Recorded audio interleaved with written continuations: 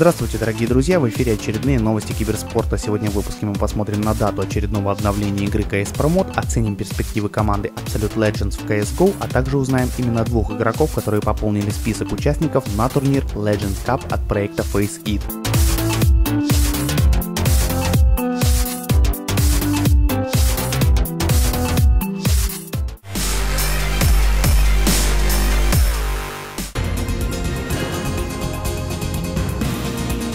Самой главной новостью этой недели стала, конечно же, игра CS Promote. Выход 1.09 версии заставил многих журналистов начать рассуждать на тему, чего не хватает в игре, кто и самое главное, кого сможет заменить.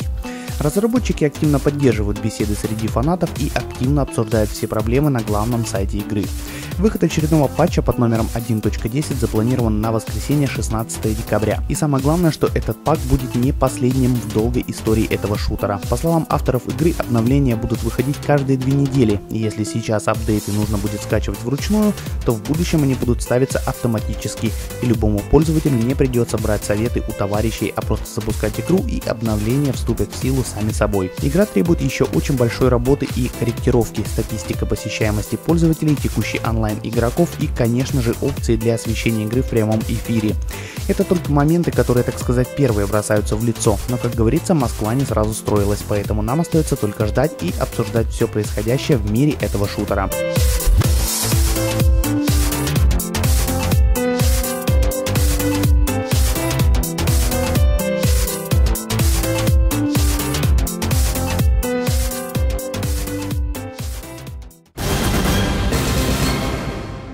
Для кого-то неожиданно, а для кого-то эта новость стала закономерной. Фарук Питта покинул ряды команды Absolute Legend в дисциплине CSGO.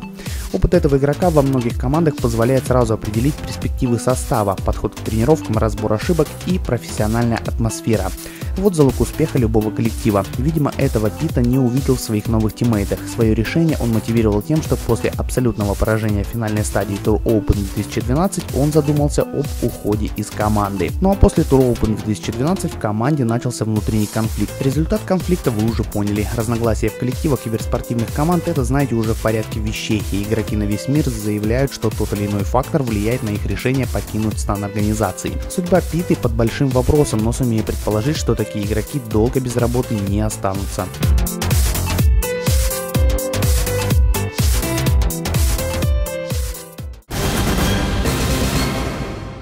Организаторы турнира Legend Cup в дисциплине Quake Live продолжают радовать многих поклонников Quake новыми именами в плеер-пуле грандиозного турнира.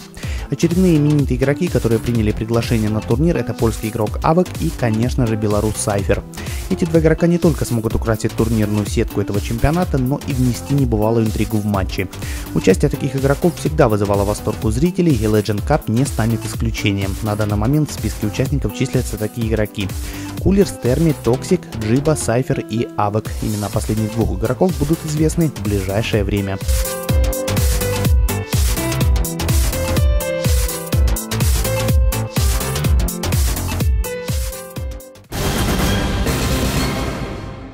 Легенда Варкрафта осталась за бортом организации Fnatic. Мун одно время был номером один в этой легендарной игре. Однако времена меняются, игры, к сожалению, тоже, и игрок был вынужден перейти в новую игру с более светлыми перспективами. Это StarCraft 2. Однако в новой игре он так и не смог раскрыться, выступления несли в себе положительный характер, однако побед было не так много. И вроде бы что-то начало получаться в SK2, как вдруг Мун решил вернуться в Warcraft 3, чтобы поиграть на WCG 2012.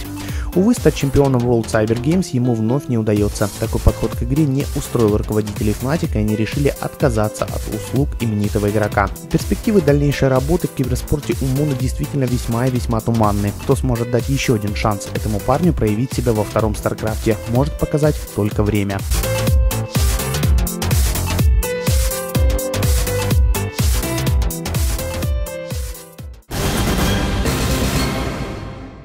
Организаторы NordCon 2012 объявили еще одного участника в турнире по CSGO. Инвайт получила бельгийская команда AT Gaming. Изначально в списках участников было два коллектива Mo и Alternate, но так как эти ребята решили отказаться от участия, решено было отдать один из инвайтов именно бельгийцам. Остается еще два вакантных слота, один из которых предназначен для боев квалификаций. Отказ двух ведущих команд Германии от участия в локальном турнире с довольно-таки неплохим призовым фондом ставит очень много вопросов. Видимо, организаторы турнира не нашли общего языка со спонсорами двух топовых команд страны, а может быть причина кроется и в другом. Правда, как обычно, скрыта, а нам остается только догадываться. Это были все новости на сегодня. Спасибо за внимание. Всем пока.